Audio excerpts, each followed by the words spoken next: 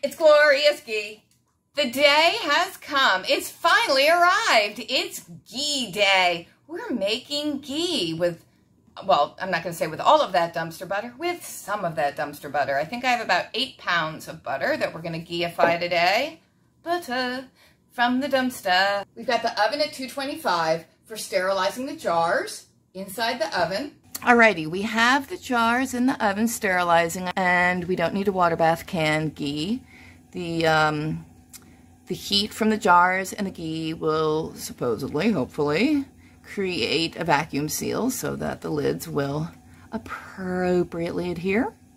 So, we'll just let those sit in there sterilizing themselves. Well, they're not sterilizing themselves. The oven's sterilizing them. All right, we'll see, 225. And now we unwrap our butter. I'm using the big old stock pot I use for water bath canning. You want a nice heavy bottomed pot. A nonstick surface might be preferable to what I have because I will say your milk solids will sink to the bottom as you melt and boil your butter.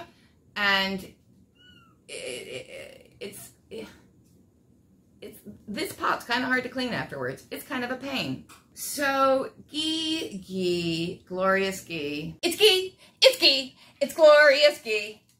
While you've got your jars sterilizing in the oven, you are going to be melting a whole lot of butter.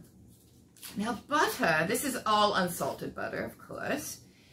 Butter is made of butter. Butter, butter is made of fat and milk solids and some water, basically.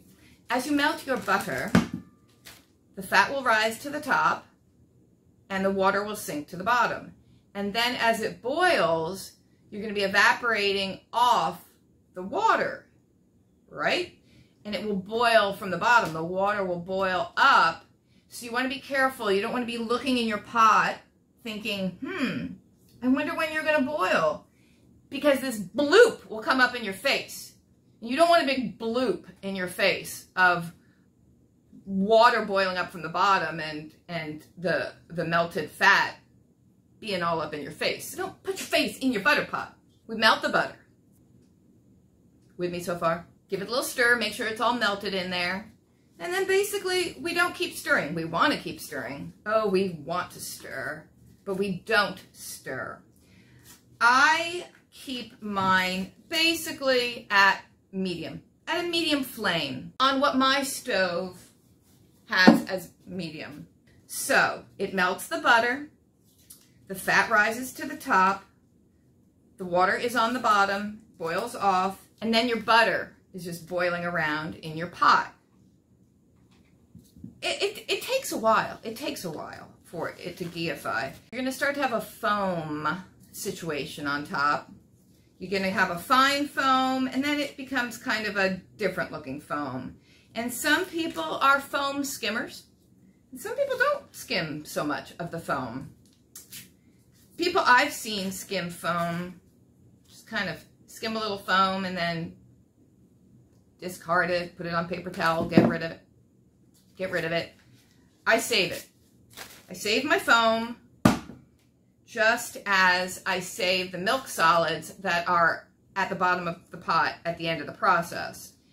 And I basically mix them all together and add salt, lots of salt, and just use it as a spread on my toast. That is what I do with my milk solids and my foam. The milk solids, to me, took me a while to figure out, like, what is that flavor? Because yes, it tastes like butter, and it's delicious, but I finally figured out what it reminds me of, spread on the toast, is butter toffee. That's what it tastes like to me. It's well worth keeping. So once your butter is boiling away, you'll see, and we, we will see, we'll look at it, but you'll see like little tiny specks of milk solids kind of boiling around in there, boiling around, boiling around. You got your foam, you got your boiling around, boiling around. And then you will start to see that the fat is looking clearer, clear, clarified, clear, clear. You can see through it. So that's when your milk solids are finally sinking to the bottom. Yay, you've got your clarified butter. Skim off the top, skim off the top, skim, skim, skim. I mean, we are going to strain all this through cheesecloth. So if you didn't skim off all the foam, that would be fine. It would get caught up in your cheesecloth, but I, I want to eat the foam with my milk solids in my toast spread because I don't want to waste it. I also find that with the draining and the cheesecloth, a lot of butter, a lot, gets absorbed into the cheesecloth. And um, if you squeeze it out, you wring it out, a lot more comes out. I need to find some gloves and and do that and show you because it, it's, it's a little it's a little buttery when you do it barehanded, let me say, but a lot more butter comes out. And it just seems so wasteful not to try to extricate that butter from the cheesecloth. But we do strain this. So when your milk solids start to sink to the bottom, you keep an eye out, keep an eye out for the clarified butter to just start to turn just a little bit darker, a little bit like it's starting to turn a little bit brown, a little bit, because your milk solids are browning a little bit on the bottom, infusing this lovely flavor and color into your clarified butter, your ghee. It's ghee, it's ghee, it's glorious ghee. You want to make sure it doesn't go too far because you don't want the milk solids on the bottom to burn. And I have found that at the point where I feel like, okay, it's turning a little bit brown, we're getting that delicious nutty flavor infused, great, turn it off. Some of my milk solids, I won't say they're burned to the bottom of the pan, but they're pretty brown down there. And this pot is not super easy to, to scrub. There, there are ways. One soaks it in water, vinegar, salt, one uses abrasive cleaners. One scrapes it with a big metal spoon. One does lots of things to get this pot clean again. So, uh, yeah, giant Teflon coated pot might be a nice thing. Once you feel that your clarified butter is the color you want it, why then you stop cooking, turn off the heat, and then you strain your butter through your cheesecloth situation. And I put my cheesecloth in a little sieve on top of a pitcher.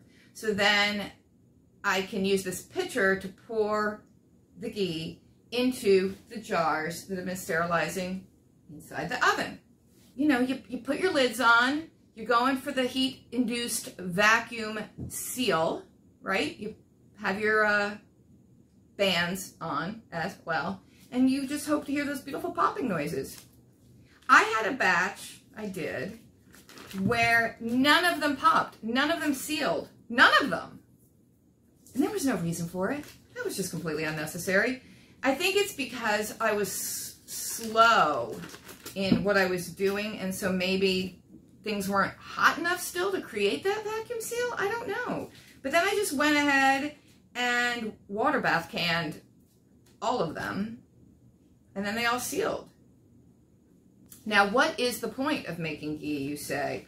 Well, besides the fact that it's completely delicious and it's worth making, if for no other reason, just for the milk solid foam combo add salt spread that you're going to put on your toast. Or you could use it in making cookie dough or something like that. I think that would make your cookie dough most delish. Um, but the point, the point, the point.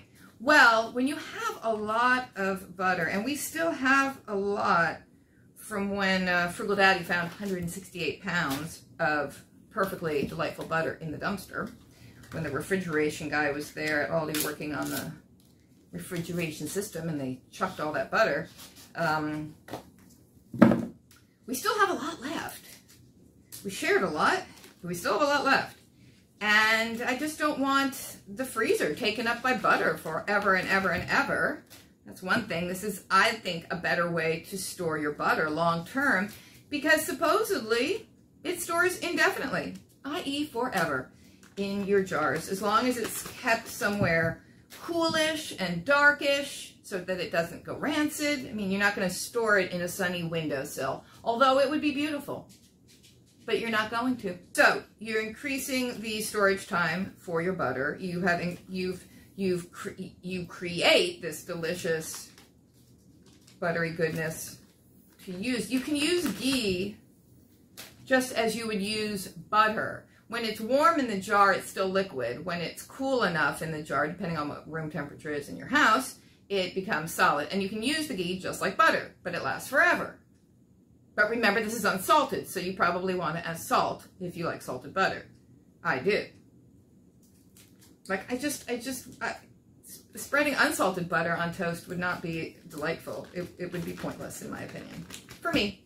Also, big point on the ghee front is the smoking point. When you cook with butter, you know, if you're sauteing something with butter on top of the stove, your smoking point's pretty low. And with ghee, it's much higher. It's almost, I think, almost 500 degrees, I think. I love when the little pieces of paper get stuck in the butter. Hey, but you know what? If you have a little piece of wrapper floating around in there, probably doesn't matter because you're going to strain this through your cheesecloth. Last step. And then this pot goes on the stove.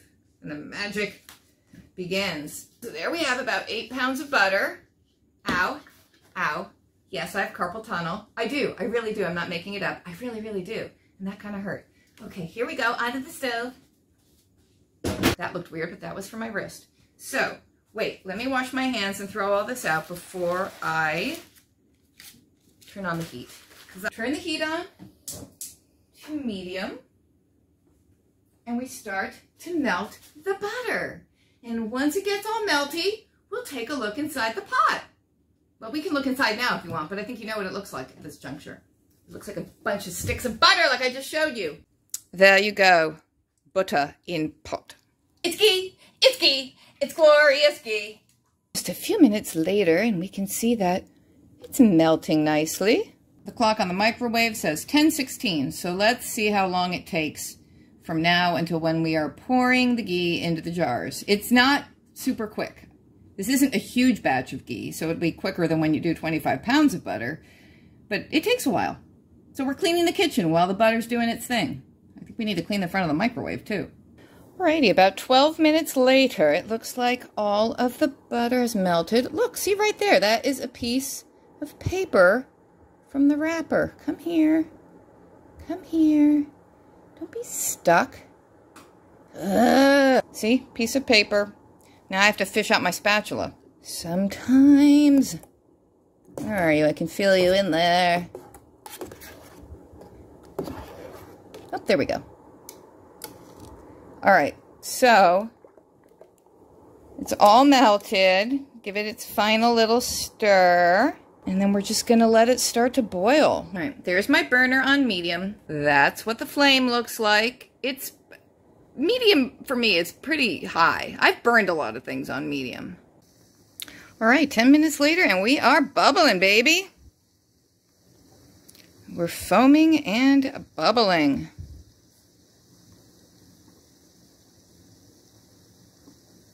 Look at all that foam. That is some foamy foam. All right, there's no foam skimming at this juncture. We just need to let this settle down a bit. All right, so with turning the heat down a tiny bit, it's settled back down. You can see up the side of the pot how high it went with its foamy bubbliness. And you can kind of see what's the residue, see what's left on the side of the pot. That's some of those milk solids. So now you have a good view of the foam situation when it's not all boiling insanely. I don't think we got any of those huge water bloops from below. I think we just have a nice boil going there. Look at that. Do we see any more butter wrapper floating around? You can see the specks of milk solids churning through this melted butter. You know, it's not clarified yet. It is not clear. We cannot see through it. And we have our fine foam situation. That's a fine foam and we just let it continue. Oh, oh, I just saw a piece of paper. Where did you go? Where did you go? Well, we'll get you when we strain. Wait a minute, I think I saw it come through again. It's going to circle through as it boils. Come back, piece of butter wrapper paper. Oh, there it is, there it is. Come back. Come back, I saw you. It's that corner piece that always gets stuck in the end of the butter that has the little black line on it. All right, anyway, so we're going to let this continue to do its thing, unmolested, unbothered by us. It'll do its little boily, bubbly business. We're going to have the foam going on. We've got the milk solids churning around. They're going to sink eventually. That's what we're waiting for. Oh, oh, butter wrapper thing, come back. Dang you. All right, we're now at 1055 and the butter is bubbling away. You can really see the milk solids churning around. Got lots of foam. I think we're going to skim off some foam. Pretty soon, those milk solids should be sinking to the bottom. I turned the flame down a little bit. Alrighty, we're going to skim off a little bit of the foam.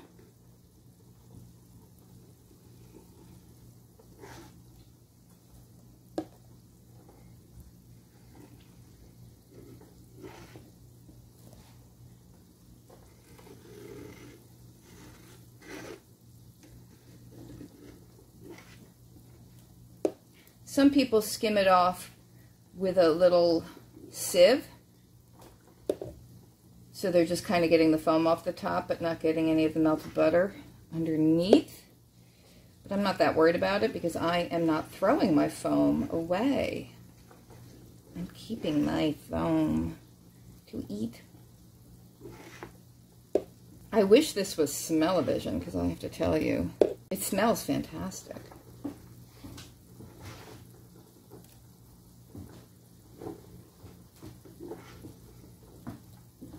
Does help to get some of the foam out of the way so you can see what your melted butter is doing.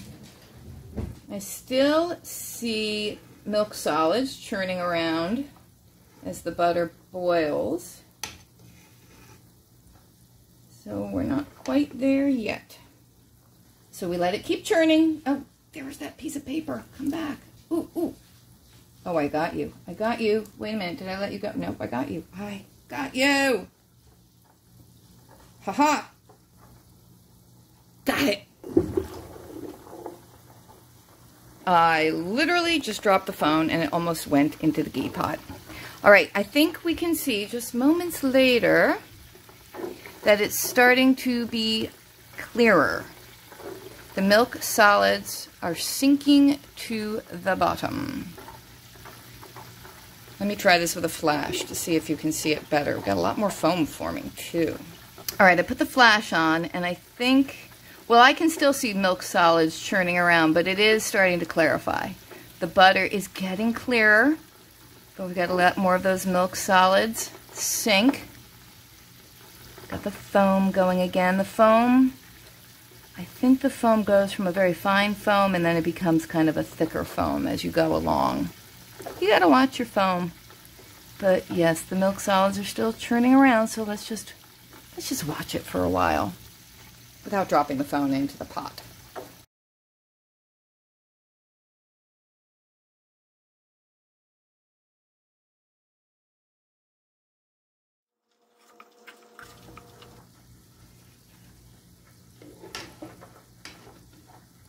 All right, guys and gals, I think we've gotten there. I can see through it to the bottom. So I'm going to call that clarified. I can see some brown on the bottom.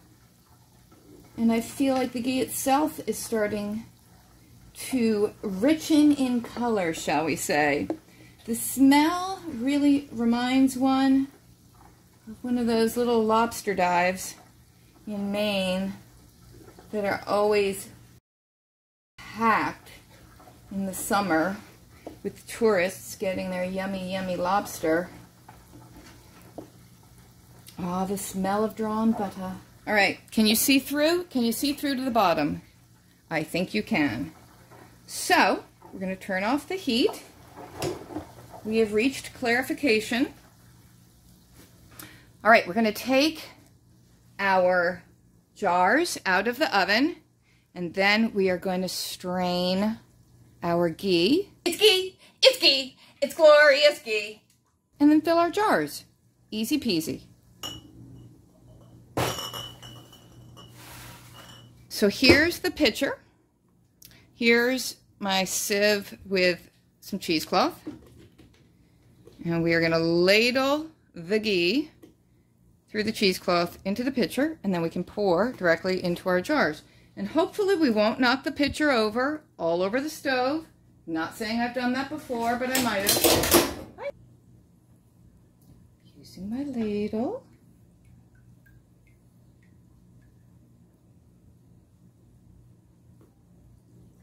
My pitcher mouth is a lot smaller than my sieve. So I need to really make sure to pour the butter down in the right in the middle so that it doesn't strain too far out and just drip down the outside of the pitcher. Not saying I've done that before either, but I might have. You learn as you go, and you have to develop your systems that work for you.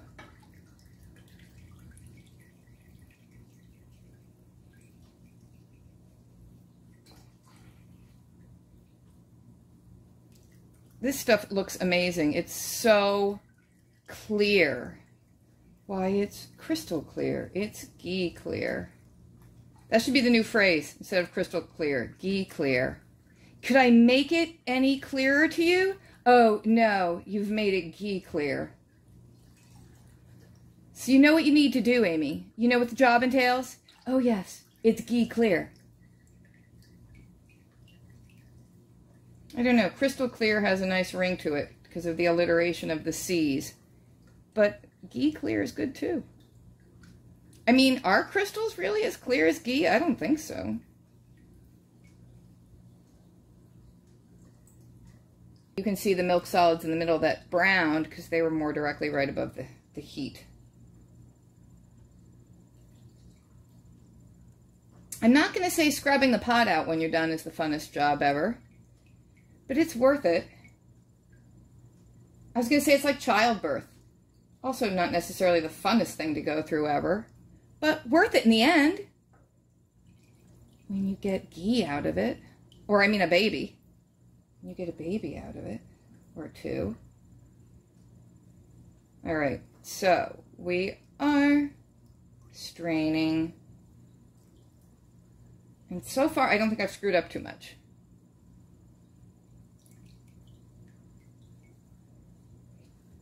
Think it's working well.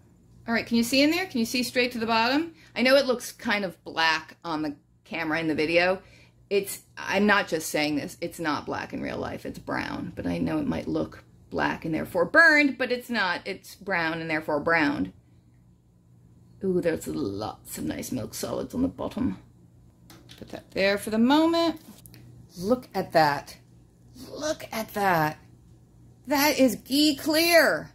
That is liquid gold. Now we will very carefully pour it into our jars and try not to slop it down the outsides of the jars and all over the pan. Not saying I've done that before, but I might have.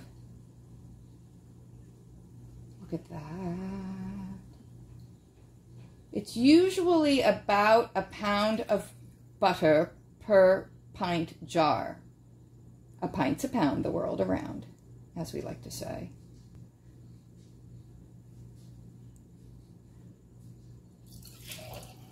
Okay, we need to strain some more. I can feel just the weight of that now with the melted butter that is stuck in the cheesecloth. I mean, that would go to waste. We have got to squeeze that out. All right.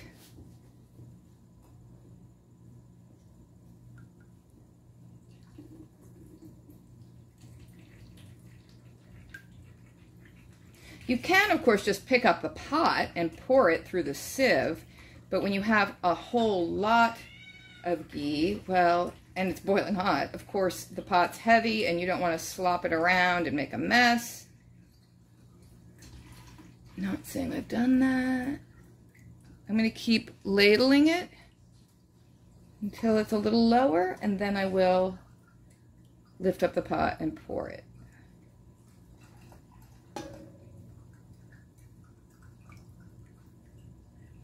It's also a little harder for me to aim right into the middle of the cheesecloth when I'm pouring directly from the pot. So I like my soup ladle method, but we, we are getting low into the pot here. All right, say a little prayer. Keep your fingers crossed.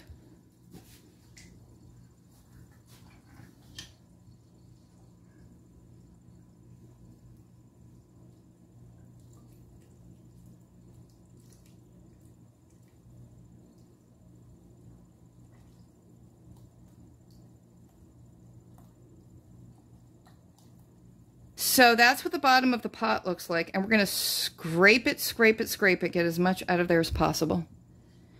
So we can put it on our toast. All right. That's about all that picture was going to take. We'll wipe around the rims quickly, quickly, quickly, so we can get our lids on.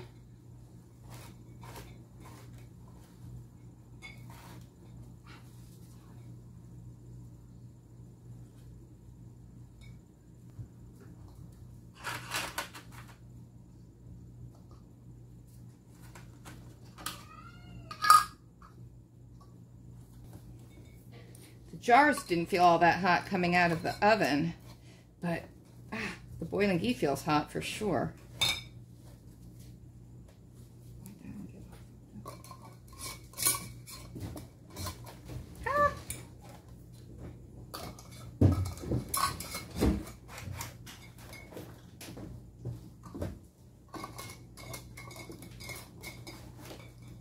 And now we hope to hear that beautiful pinging sound. And there we check in with the time. So that's how much time it took. So there we have milk solids and so forth left on the bottom of the pot. And I'm going to scrape, scrape, scrape it. Add all that to my little container of foam. Add some salt and make some toast.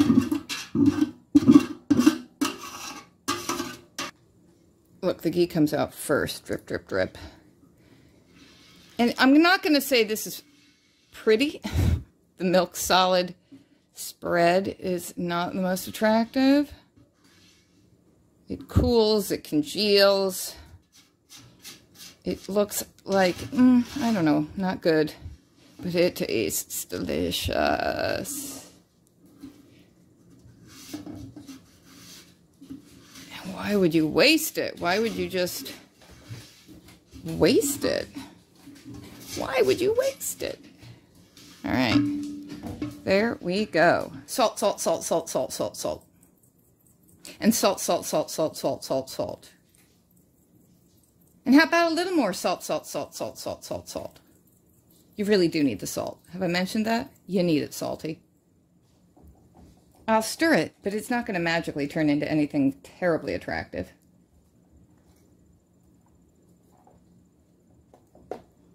It's not horrible looking. It almost ends up looking like a vinaigrette, honestly, which is sort of weird.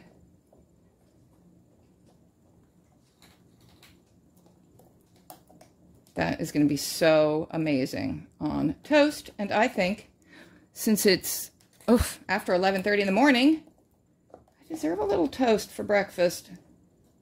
All right, we've got our cheesecloth. So let's just squeeze it and see how much butter would be wasted if we just washed that out. I don't see why you couldn't use the butter and soaked cheesecloth to, you know, grease a cake pan or something. If you're going to cook something, make grilled cheese sandwiches, rub it around the inside of your skillet. Look at that. That's how much? That's about an eighth of a cup of butter sloshing around there. Would have been wasted. And now, three hours later, after cleaning the whole house, toast with a milk solid spread. It's probably just the saltiness I love, but I love it. It's so good. And, of course, homemade bread because I know I'm cool that way. Well, thanks for watching, everybody. I hope you enjoyed this little ghee making adventure. It's ghee! It's ghee! It's glorious ghee! Hope you try it yourselves sometime if you get a really good deal on butter and want to stock up. I remember one time years ago, Whole Foods had a sale on butter for a dollar a pound. And I went in and said to them, I'd like to buy a whole case. And they looked at me like I was crazy, like nobody else in fancy Princeton, New Jersey wanted to buy a whole case of butter at a dollar per. But I did, and I think it was about 30 pounds of butter. And I remember after going through it all, which did not take very long, you would think it would, but it didn't. I remember thinking, God, I wish I'd bought more. I wish I'd bought 10 cases when I had the chance. You got to jump on those sales because, why, that one's never been repeated that I know of. Oh, my stomach just made such a weird noise.